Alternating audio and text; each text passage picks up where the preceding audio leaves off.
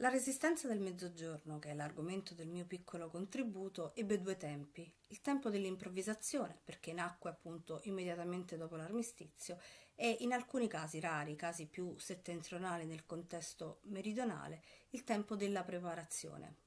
Ottenne in alcuni casi dei risultati eclatanti, soprattutto considerando da dove si partiva. Si partiva dai ricoveri, dalla gente sotto le macerie, dalle file per l'acqua e per il pane. Pensiamo a Napoli, la città più bombardata della seconda guerra mondiale, una città praticamente rasa al suolo, distrutta, affamata, che invece nonostante la forza di rialzarsi, di insorgere contro i tedeschi e di cacciarli dal proprio territorio. Napoli fu la prima città d'Europa a cacciare i tedeschi da sola durante la seconda guerra mondiale ed è senza dubbio un risultato significativo. Certo, i tedeschi se ne volevano andare, questo è stato detto e la storiografia non l'ha mai nascosto. L'avrebbero fatto però portando con loro molti più uomini di quelli che riuscirono a portarsi e distruggendo molte più infrastrutture di quelle che effettivamente distrussero. Se ciò non avvenne è merito dell'insurrezione partenopea. Napoli però è stata a lungo considerata una, un'isola felice, diciamo, una eccezione all'interno di una regola che vedeva il sud immobile, attendere pacificamente la, o passivamente la liberazione che doveva arrivare da, da altrove e che insomma attendere che la nottata passasse. In realtà non fu così, non è stato così mai nella storia meridionale, non fu così durante la seconda guerra mondiale. Anche durante la seconda guerra mondiale, al di là di Napoli, delle quattro giornate, prima e dopo quell'evento, ci fu tutto un sud che si mosse, che innanzitutto si difese che poi, quando fu possibile, passò anche all'attacco.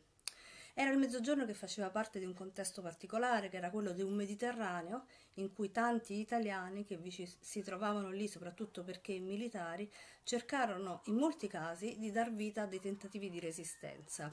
Sappiamo molto bene che eh, questi tentativi furono per lo più sfortunati e le conseguenze drammatiche. Ciò nonostante vanno inseriti in, a pieno titolo in quella che è considerata la prima resistenza.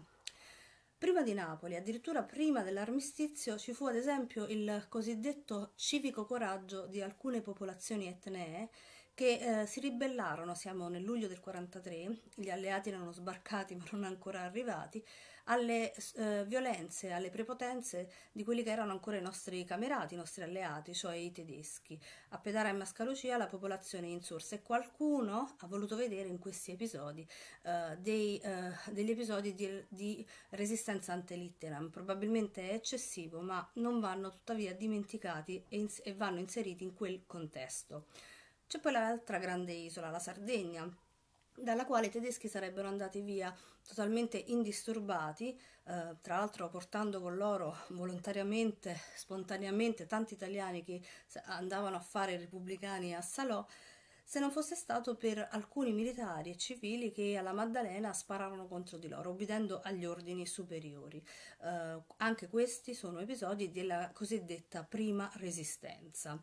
Um, poi ci fu, mentre la Calabria non subì per fortuna l'occupazione tedesca, ma già mh, si intravedevano i segnali di quelle che sarebbero state le occupazioni delle terre, Basilicata e Puglia furono travolte dal passaggio eh, dell'esercito tedesco in risalita verso il nord. Uh, ad esempio a Rionero in Vulture molte persone morirono perché tentavano di ehm, reagire alle rapine effettuate dai tedeschi e anzi quando un italiano, un contadino reagì al furto di una gallina operato tra l'altro da un militare della Nembo, quindi da un italiano, un ladro di polli italiano, i tedeschi per rappresaglia uccisero 18 persone a Rionero in Vulture il 24 settembre. Questo fu uno degli episodi di violenze contro i Nermi, delle stragi contro i Nermi che martoriarono il sud in quell'estate autunno del 43.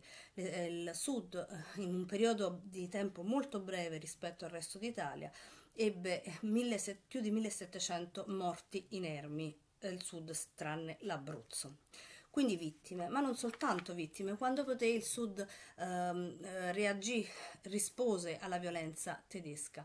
A Matera addirittura ci fu un'insurrezione cittadina pre che precedette Napoli di parecchi giorni, il 21 settembre, ehm, un'insurrezione che rispondeva alla necessità della popolazione di difendersi dalle violenze, dai saccheggi, dalle rapine, dalle ruberie che i tedeschi stavano praticando in città e in Puglia, a Bari, ci fu uno degli episodi più importanti della resistenza dei militari nel Mediterraneo. Il generale Nicola Bellomo infatti salvò il porto di Bari, un porto fondamentale per la campagna d'Italia degli alleati, dalle distruzioni operate dai tedeschi. Lo fece tra l'altro in un contesto in cui i suoi pari grado o addirittura i suoi superiori tentavano di mettere al sicuro se stessi invece che difendere appunto il territorio in cui eh, esisteva il loro comando. Eh, pensiamo che tra i superiori di Bellomo c'erano quel re e Badoglio che stavano in quelle stesse ore mentre lui difendeva Bari eh, cercando rifugio per se stessi in Puglia.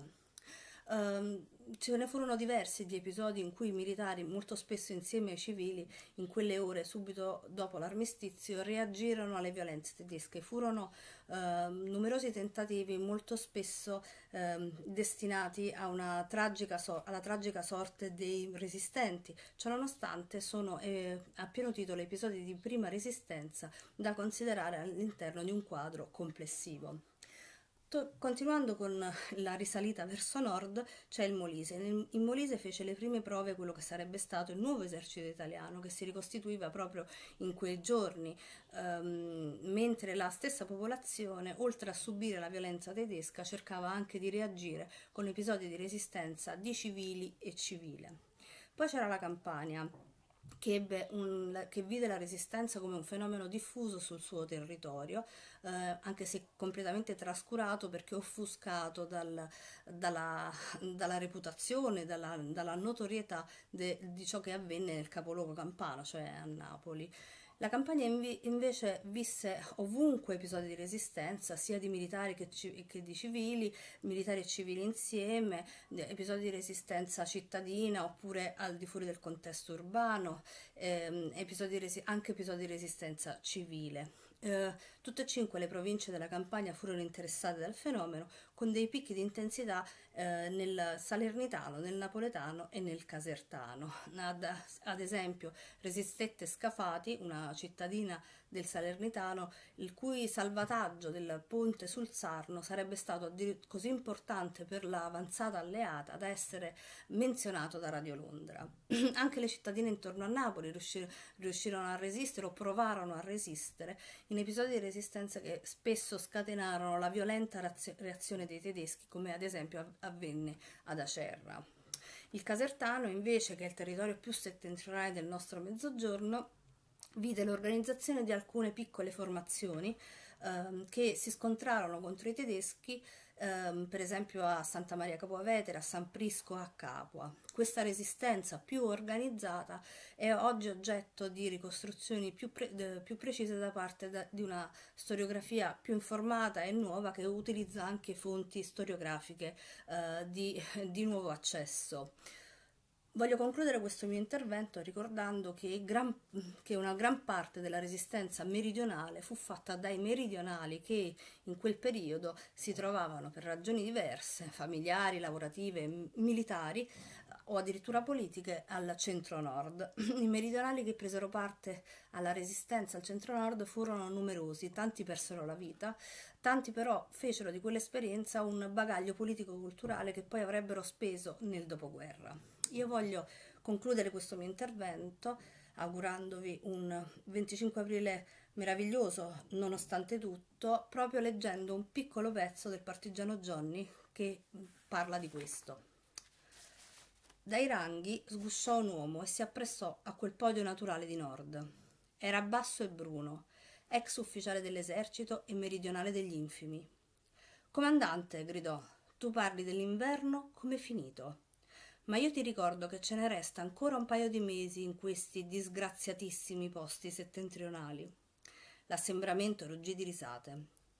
Io parlo, proseguì, io ho l'onore di parlare a nome dei paesani miei terroni, di noi che soffriamo atrocemente il freddo e ne soffriremo fino al 21 marzo. Nord rise. Leo, che colpa ne ho io, ne abbiamo noi se voi siete sporchi tremolanti terroni?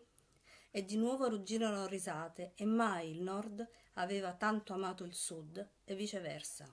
E sui greppi circostanti i contadini risero in cieca simpatia.